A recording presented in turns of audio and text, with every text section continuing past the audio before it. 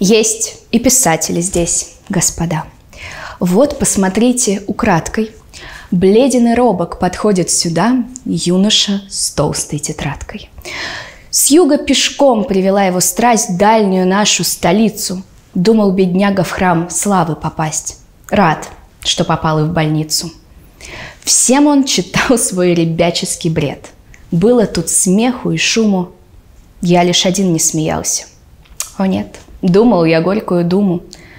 Братья-писатели, в нашей судьбе что-то лежит роковое. Если бы все мы, не веря себе, выбрали б дело другое, не было бы точно, согласен и я, жалких писак и педантов. Только бы не было также друзья, Скоттов, Шекспиров и Дантов. Чтобы одного возвеличить борьба, тысячи слабых уносит. Даром ничто не дается, судьба жертв искупительных просит. Тут наш приятель глубоко вздохнул, начал метаться тревожно. Мы посидели, пока он уснул, и разошлись осторожно.